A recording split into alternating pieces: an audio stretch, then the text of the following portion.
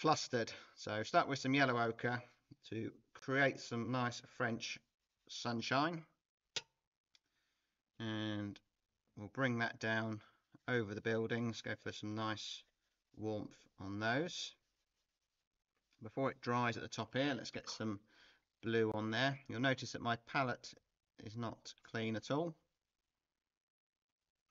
But um, the leftover paint will just uh, mix into these blues and yellows and things and just make them more sort of natural looking colours rather than sort of bright colours straight from the tube. And the water, bring that down. So that's going to be reflecting some of that warmth. And then we'll finish with the blue. So you'll notice that's very similar to a lot of other paintings I've done. And you know, I find a lot of my watercolours, they're all much the same, just different subject.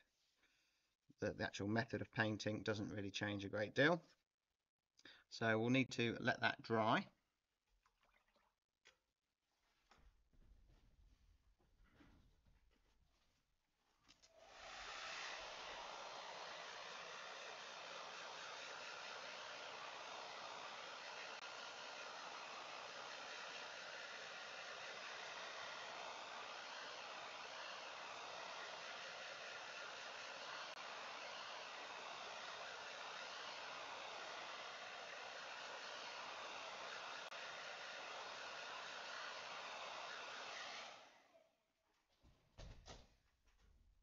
So I can switch to smaller brush. So this is an Escoda Perla size 14. It's a, a new one, so it's got a nice fine point. So I think we'll go for putting some blue on the shadow parts of the, the buildings.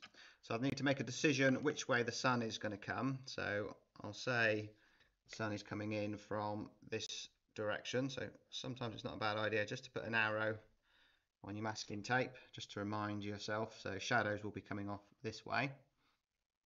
So perhaps we'll have some of these buildings in shadow. So this brush is nicely loaded up. And the rooftops will be orange so the the blue and the orange is going to work well together. And then I can connect up all of these um, buildings and we'll have a good uh, mixture of warmth and cool. So maybe a bit of burnt burnt sienna. So maybe a bit of warmth on that building. That's going to mix on there. Just give us a little bit of a texture that could be stone. Um, but this side of the building is going to be in shadow. And, that one a bit of warmth maybe. So the sun's maybe creating a bit of a light on those but we'll darken that once it's dried. Um, we'll continue with that warmth over on this side just to make it interesting. So maybe this one's got a lot of warmth on it because that's getting the sunshine on it. So back to the blue but notice I'm mixing on the paper rather than uh, just mixing the color and so on because we need to add connection. And staying with a fairly limited palette that um, you know the orange and the blue you know, we don't need masses of colors and we'll have that as a rooftop there. This is kind of going off the page here so don't need much in the way of detail there. And just suggest there so I've come down here and I've got um, trees to go in. So I think I'll put the trees in now while this is all wet because it's an opportunity maybe just to connect a few things up, um, certainly over here. So let's go for a bit of yellow ochre and a bit of cobalt blue. So fairly strong paint. And this dark will make these uh, rooftops seem lighter when I put the uh, the nice orange on there and a bit of dry brush just to create the uh, illusion of treetops and so on and I can use the uh, the dark there just to sort of come around that rooftop and make a little bit more of that. And to add connection, let's just pull a dark under that rooftop there. And I'm just using that green which I've made. So the yellow ochre and the cobalt blue make a nice sort of natural looking green. And same under that one, same under that one. Maybe mix a bit of red, red and blue. So just making a slightly darker colour. So we can put a shadow down there. Maybe actually put some of that in there as well. And this side of the building. So it's not dried yet, so I'll get a, probably a soft soft edge there so I can always sharpen that up afterwards. Dark under the eaves there dark under there.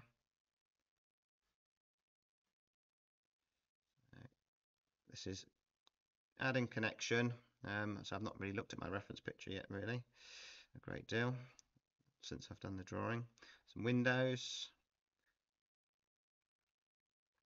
And with watercolor that um, the more you have you know you worry about what you're painting and have you got it right and all that sort of stuff you sacrifice painting loose by doing all of that. I've forgotten this tower up here. Um, because you don't do any of this stuff because you know you're not freeing yourself up to just paint that um, it's not as easy as it sounds I know. Um, but uh, ideally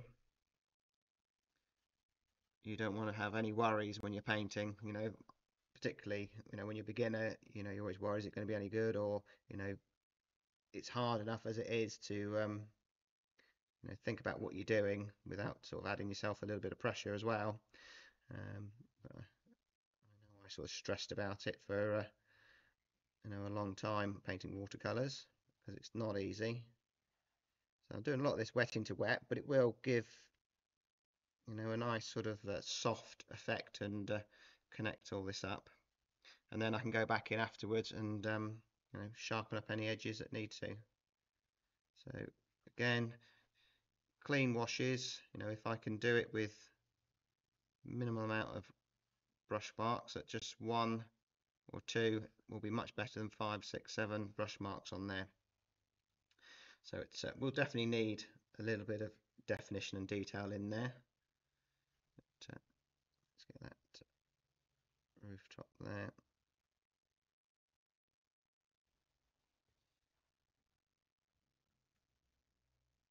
Maybe a few chimney pots just to break up that skyline a little bit there. So I think we'll probably a good idea to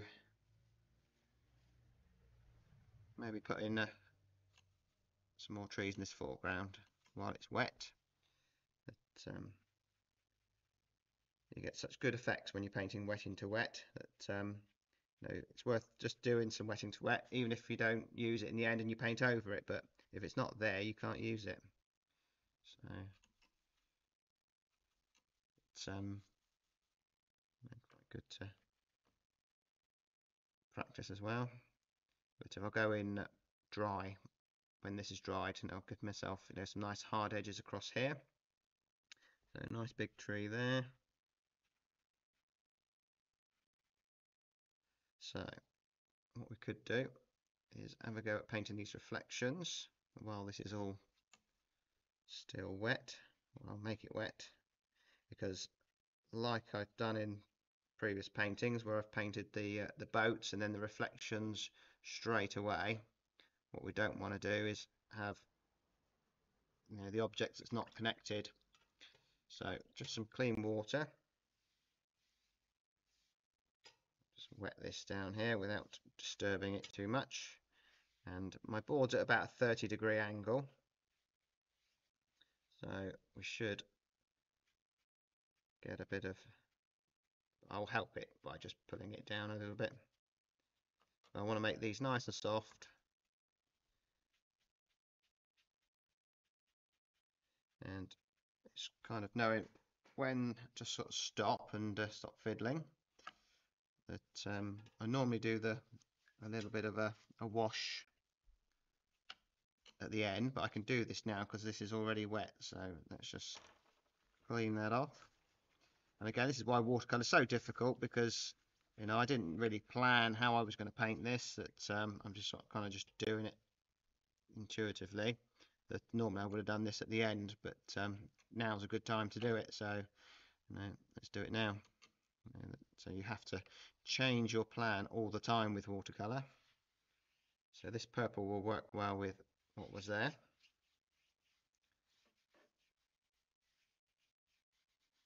So not to fiddle with it too much, so a little bit stronger.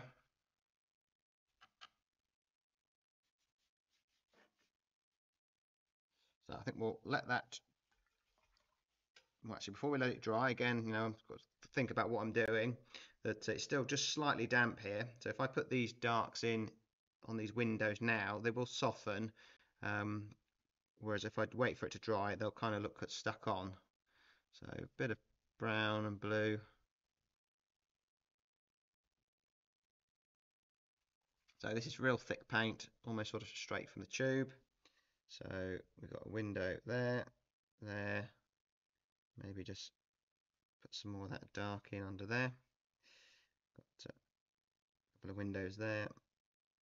Again get that dark under there. Maybe so this is what I mean by not sacrificing detail for a nice wash that it's quite nice how this is kind of connected to all these kind of three shapes but you know I could go darker with that but actually I think it'd be better not to um, and just keep that as a um, you know quite a nice wash there. So we'll do that. So there's a window there. Maybe a chimney pot there or something. So windows. Yeah make them all kind of slightly different. A jetty or something there. Um, could possibly go a little bit darker with green. While this is still damp. So again it's just knowing about timing with watercolor it's just damp enough so I could just darken it at the base of that uh, water's edge there. But uh, you know a couple of seconds more and it wouldn't it'd be too um too dry. So I think we will dry that off now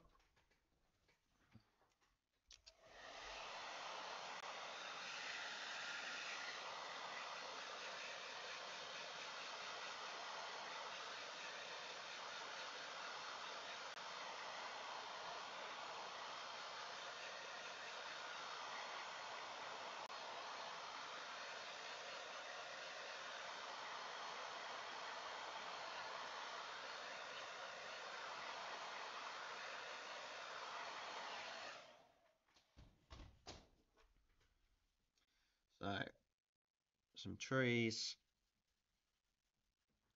over this side.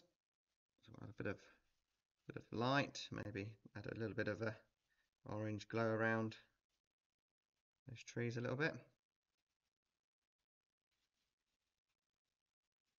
Not a lot of paint on the, the brush there. And now mix some more of that green. So this is thick paint, not a lot of water and now I can just just create those again sort of marks that could be trees and just a little bit more water it's a little bit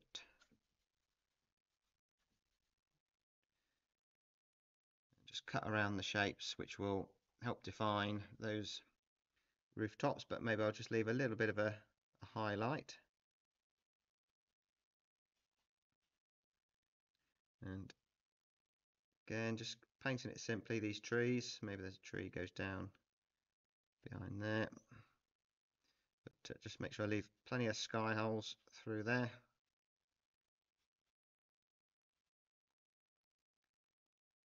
Across the top of that one. And we'll just have a slightly higher one there. So that's worked okay. So maybe we've got um, know, not a lot going on in the sky, so put some in there. So do need maybe a little bit of um, something in the foreground. So maybe a boat that um, we can go for. Try and lift out some paint.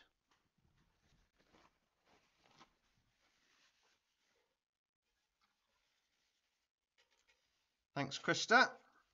Appreciate the comments. It also helps me to let me know that you're there still, so I appreciate that. So let's put a boat here. Maybe we've got um, it's quite light here, but we'll just let's have a go for just lifting out some some paint. Just just clean water. Just work the paper, and now just some clean tissue.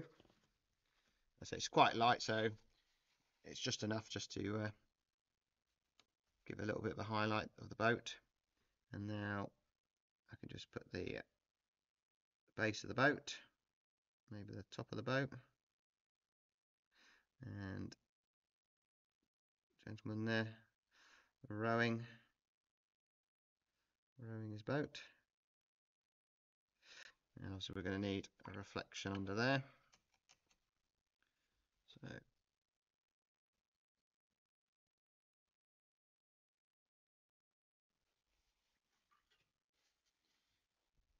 Just take out, lift off a little bit of that.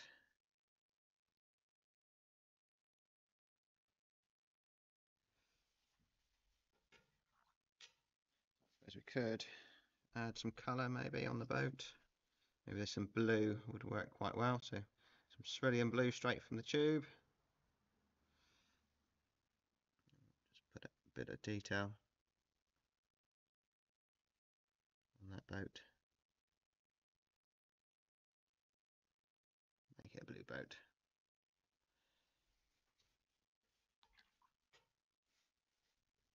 And we could just put a couple of boats by the, uh, the, the jetty there and then that'll be finished.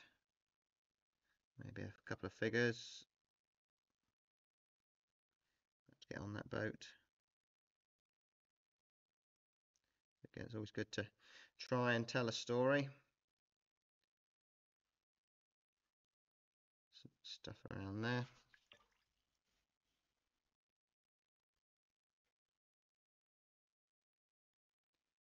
softness now I'm fiddling, so that's time to call it a day on that one. That um, something like this would be a good idea to have a look at it again tomorrow and see, you know, could we add something to it? So we'll have a look at the the other scene. So that was the, the first one. So there we go. Um, we'll just take the uh, tape off of that one actually, and always good taking the tape off. Nice crisp edge.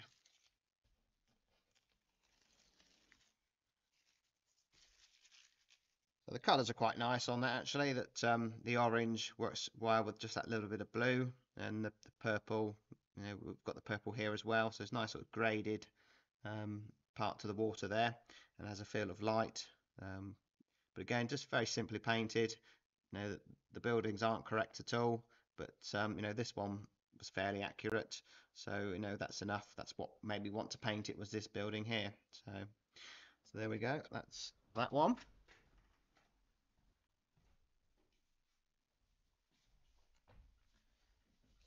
Hopefully we can do this one without interruptions. Just change my reference picture over. So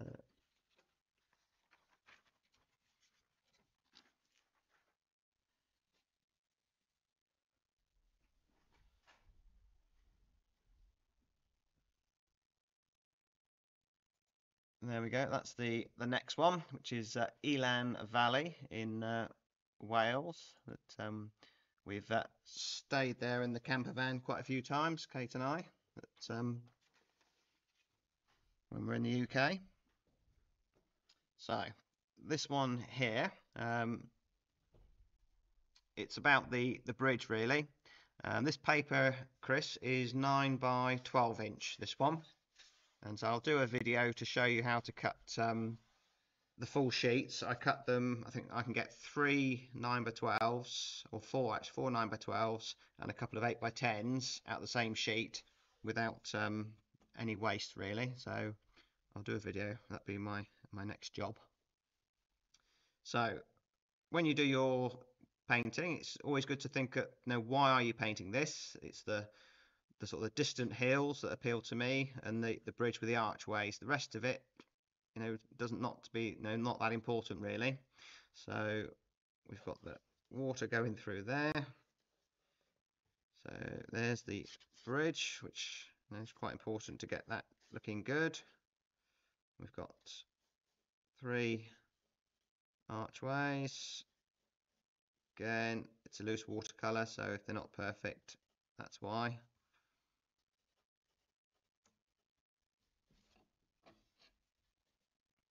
And then we've got these buildings here, which we can just keep those nice and simple because simple always works better. Took me a long time to uh, figure that out. So just a basic house shape. And when you look at master paintings that you know we'll you know appreciate and love, they've been painted simply. You know, very rarely they may look complex, but if you really look at them, you know that they haven't. You know, they've just painted what's necessary, and that's you know what makes a a master painting in my eyes. So there's one building there, and then the other one over here, which again just basic shape. There's a perspective to take into account, but again, I'll use my loose watercolor excuse, but um, yeah, I'll get it fairly, fairly accurate, hopefully. So there we go.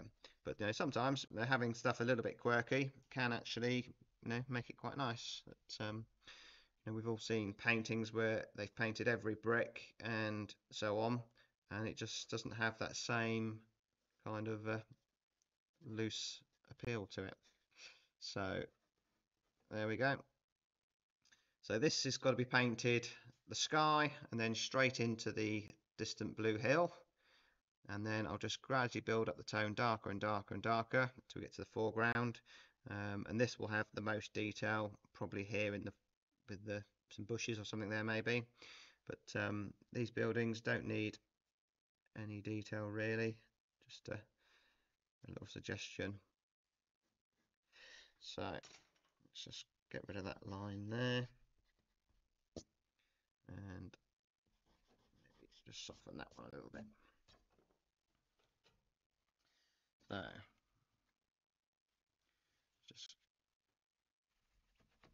clean one of those off, a couple of those off.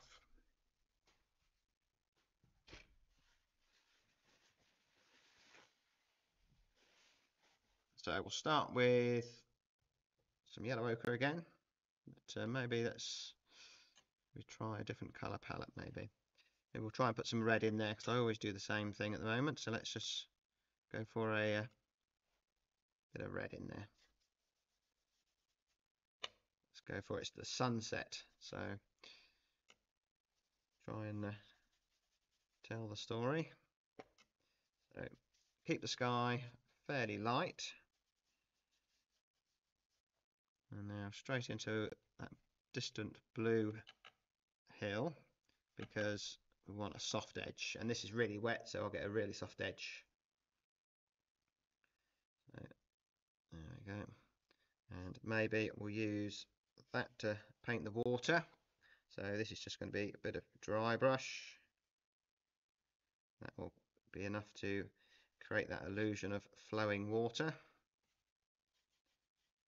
So, so with watercolour, you've always got to be thinking how to paint it.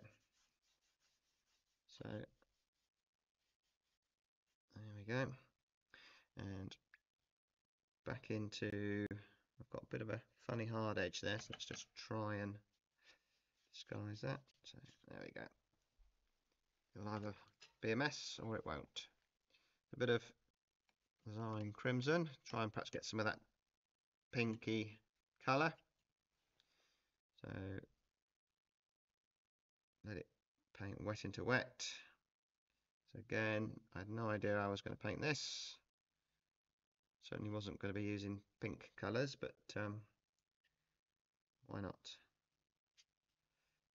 So all these other buildings down here, I'm just not going to paint them. So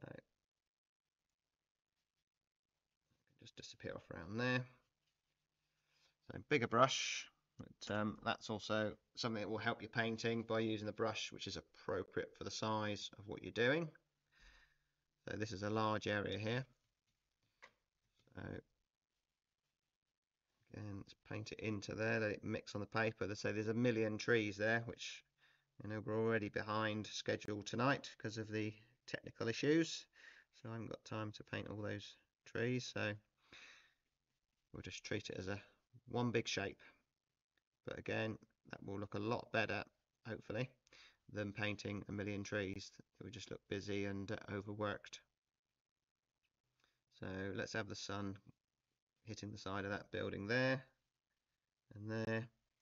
We can connect that bridge up because the sun's also now going to hit that bridge. So, so this is all painted itself, which is great. And let's get some blue in there. Mix on the paper. And this is quite far away here so it doesn't need much in the way of detail if any. So I'll just go back to the smaller brush. Maybe a bit of burnt umber a bit of red a bit of blue. And let's just put some few darks along the bank here so you know you need some definition that um, if it's too wishy-washy that's what it would be, wishy-washy. So some directional marks, maybe. Keep the eye coming down here. And maybe even have a crisp edge up there. And to paint like this, you know, I couldn't have done this years ago when I was learning to paint. Um, you just got to paint a lot of watercolors and you know a lot of bad watercolors. I've got hundreds. Well, I haven't got many more because I've painted over them or uh, binned them, whatever. But you know, I did thousands of watercolors, which were total rubbish. Um, but at the time, I was quite proud of them, and uh, you know, because they were better than my last one. And that's it with water, you know, painting or anything you do really in life. You're only competing against yourself. That um, you know, we all look at Instagram and Facebook and see you know these fantastic artists, but uh, you know, should never compare yourself to what they're doing because you know we're only comparing ourselves to ourselves. So just add a little bit of water there just to soften that. And we'll put a bit of blue in here wet into wet. So it needs to be a little bit darker here. And I need to sort that bridge out so when you need some kind of definition. If it's too loose everywhere you know it doesn't uh, always work. So as long as we get the archways looking half reasonable we'll be good.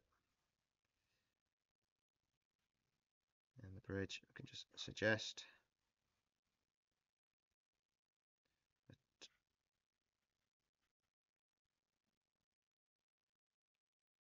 and just suggest the reflection there, but it's such choppy water. I've got too many hard edges there, so just use some water just to let that uh, mix on there and just mess it up a little bit.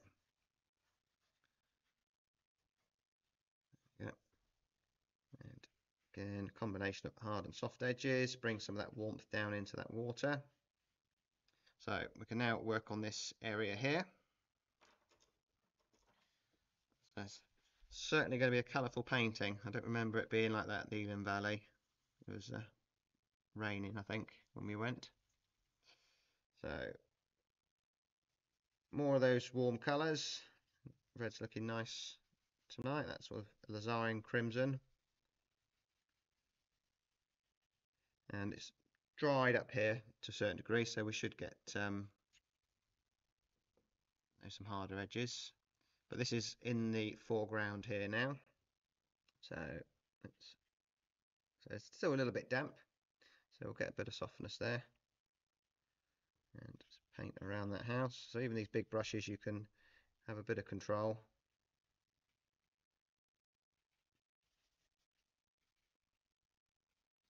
And just create that illusion of long grass and so on and connect it up. And then maybe a touch of yellow, make a real green green, see what that's like. Tap into that.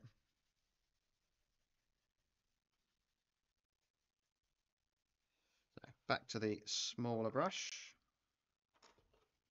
So we need a little bit of detail in here, um, but I'll just paint the side of those houses while we're waiting for that to, to dry. So these are stone houses there.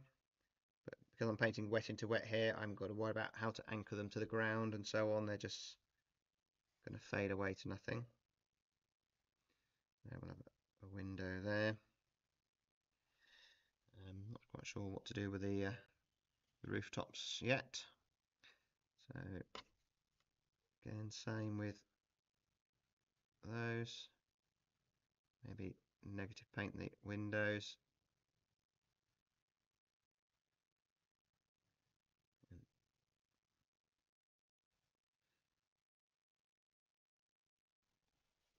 maybe I could just suggest a couple of trees here because you know, it needs something there just to stop the eye wandering off the page and just to perhaps lose the side of the building there. Again, I could you know, put more trees in here, but then I'd lose that lovely sort of wash there. So that's probably enough.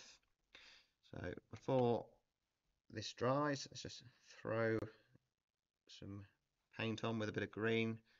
Just make a mess. There's horrible cauliflowers that we all try to avoid. Let's see if we can make some on here.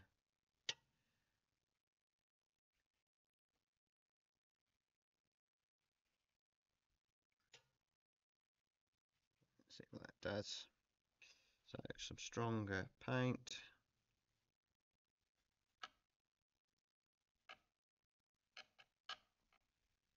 So we've got, um, we need some detail, so maybe just a few longer bits of grass here. We've got some dry paper.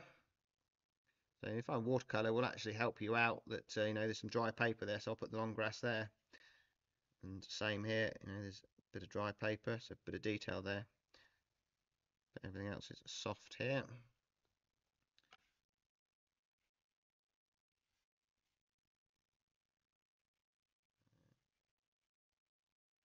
I'll wait for that to to dry. So we've got uh, lots of people joining from all over the world tonight, which is nice to to see. So appreciate everyone watching this live, and um, I will have a uh, an edited version at some point, which that'll be on Patreon um, as well. So let's dry that off.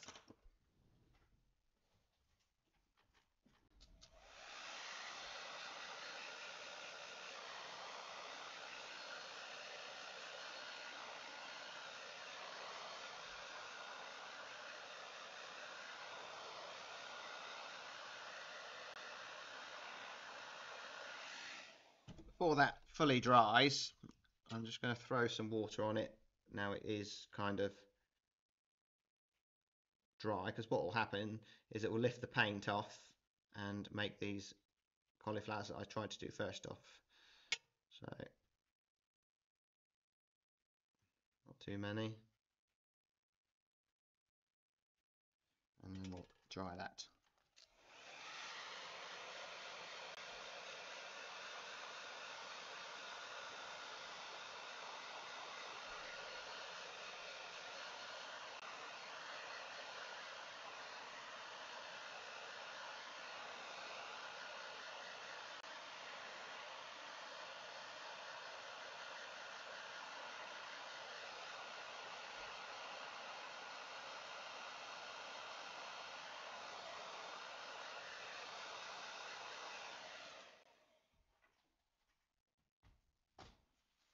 All I need now is just some paint to put on the rooftops there, which I think probably um, the blue that I've got in the distance there, so that cerulean blue will will work and that will unify the uh, the painting.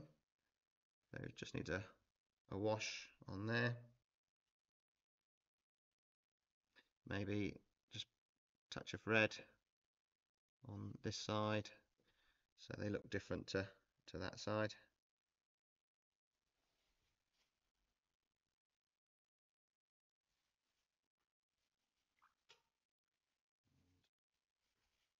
Have a look to see, you know, does it need anything else to it done to it that um, maybe a couple of darks, but the option is I could put a darker bush in here, but then you would sacrifice losing this nice sort of part that's painted itself. Um, so I think I probably would uh, just just leave it at that and uh, sort of to go for sort of capturing that um, you know the, the river and the atmosphere.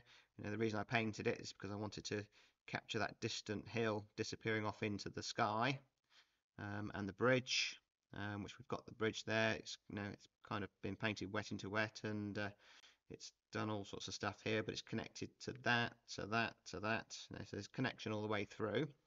So I think we'll leave it at that. Let's take the tape off.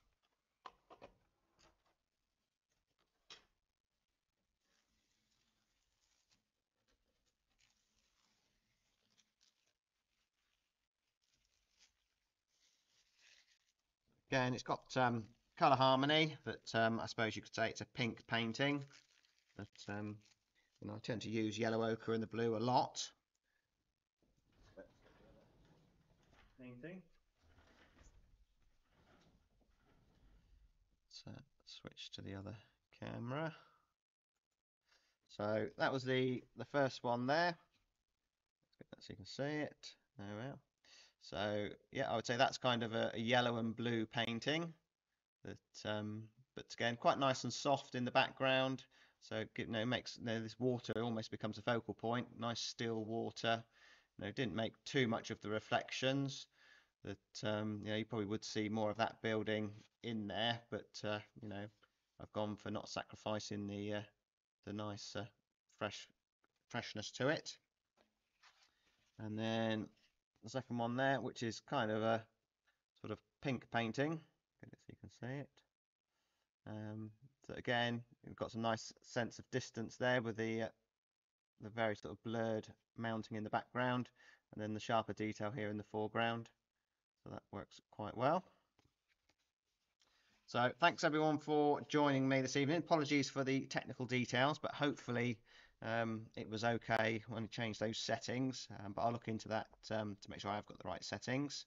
And um, hopefully the quality of the, the videos will improve because um, I'll be able to have higher definition on um, my videos with this new computer. So I've got I upgraded the cameras and so on a long time ago, but it was the computer that was not up to scratch, but I hope that's sorted. But uh, there's not a lot I can do about my internet connection. That um, we're out in rural France here, and um, you know there's uh, not very good internet, so I'm using Starlink, um, which is good, um, but the upload speeds are not particularly high, but uh, obviously fast enough for streaming if I've got the right settings. So. So there you go. That um, just check your comments. That uh, thanks for your uh, comments there. That uh, yeah, no problem enjoy doing the demos, and uh, it's really good to have your feedback and your comments. That it really helps the um, the channel grow as well. That uh, it wasn't long that I was celebrating 10,000 subscribers, but we're heading now towards 12,000. So uh, it's all good. So I shall keep painting, and um, I'll see you again soon. So bye for now, and good luck with your watercolours.